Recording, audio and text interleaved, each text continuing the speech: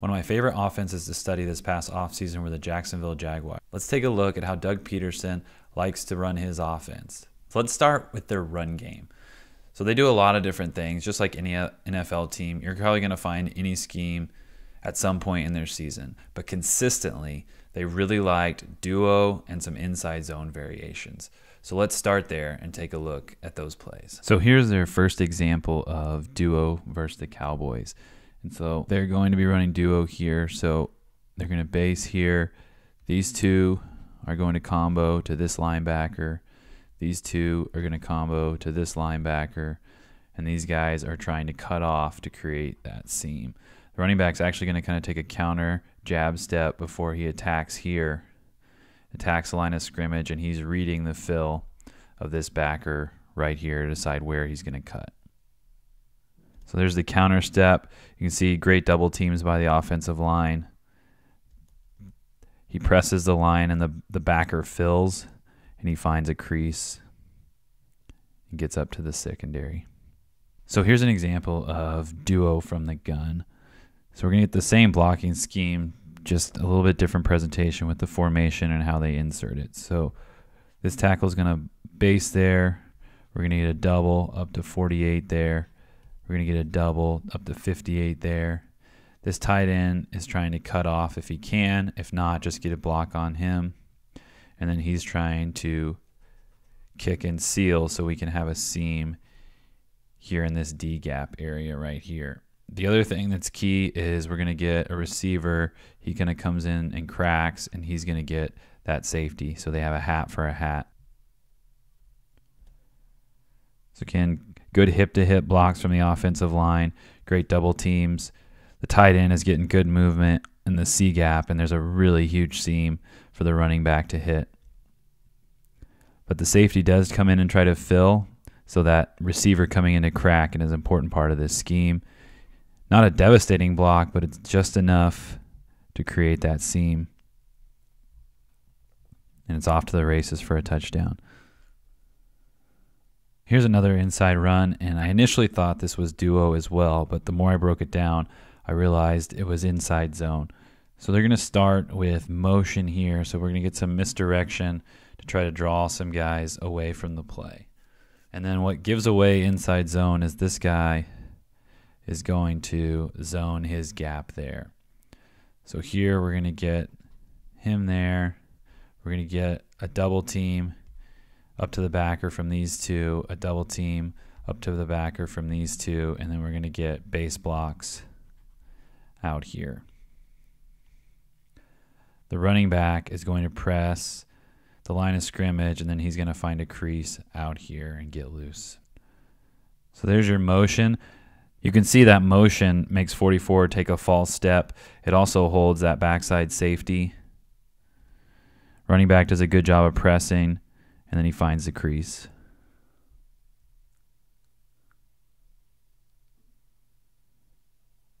So to help protect their inside runs, they really like to use the fly sweep. There were some instances of some pin and pull and some outside zone.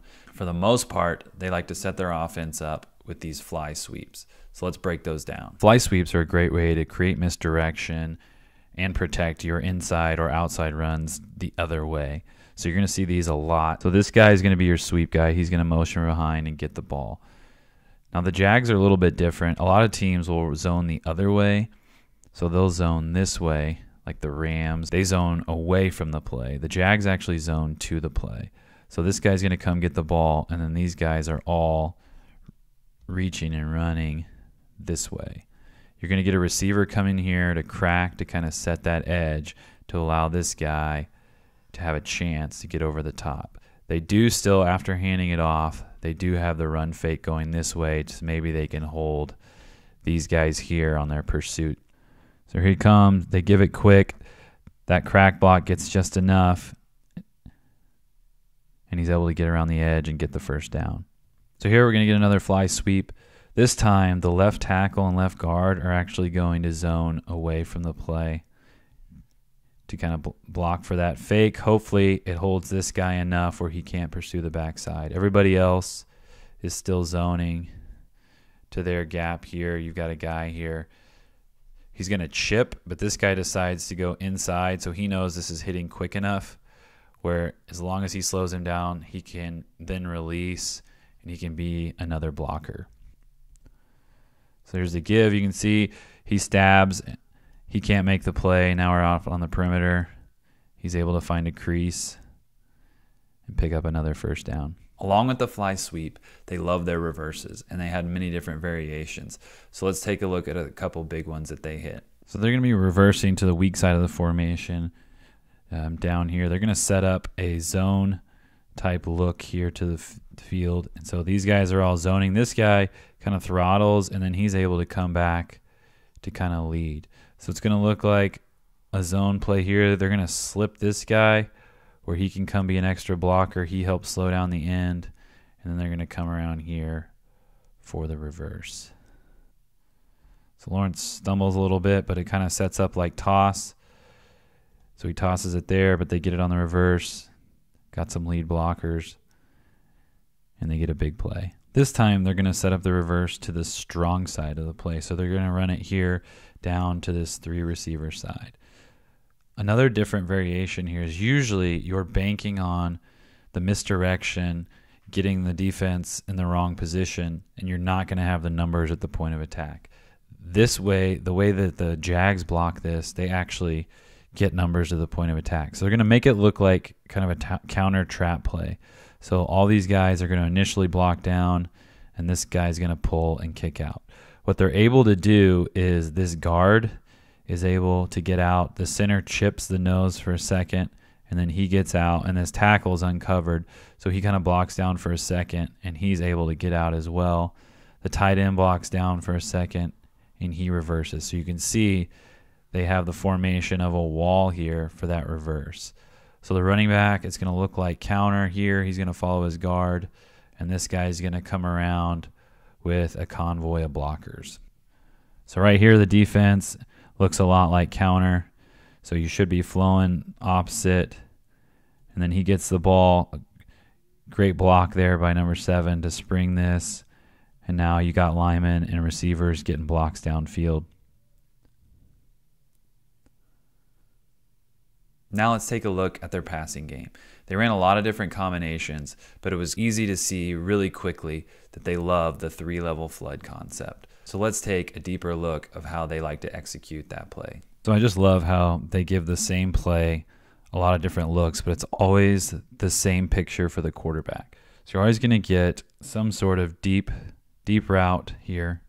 Could be a post, could be a post corner, shake route, fade, but something that's going to hit deep. You're going to get some kind of deep out, usually a 10 to 12 yard sail and then something underneath. And that comes from a lot of different places. It can come from the back, it could come from another receiver, it could be a three by one, but then you're going to get a third route here.